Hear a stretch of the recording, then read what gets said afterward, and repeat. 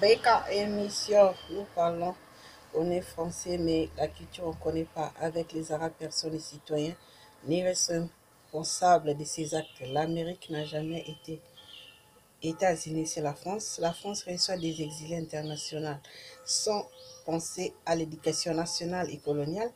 Les pays inhabités, méchants, hypocrites comme l'Angleterre n'aident pas Cameroun. La couleur de peau d'un Africain n'est pas mais marron. Shakira est musulman, Beyoncé est brune. Les Américains sont les illettrés. Ciao, ciao.